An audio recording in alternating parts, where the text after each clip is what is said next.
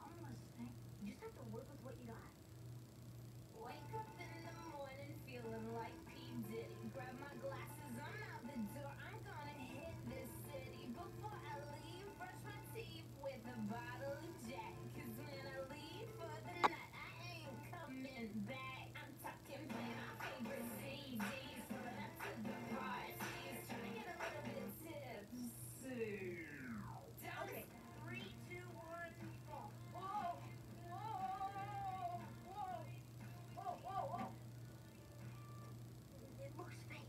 It has to look real. But how do I fake it if I'm actually falling backwards? Mm, Maybe you need a gimmick so people notice. Oh, wear this on your head. Now do it again. Why can't you be the one that falls backwards in the chair? Because I'm not the one wearing the underwear on my head. Remember when I broke my arm? That didn't feel good at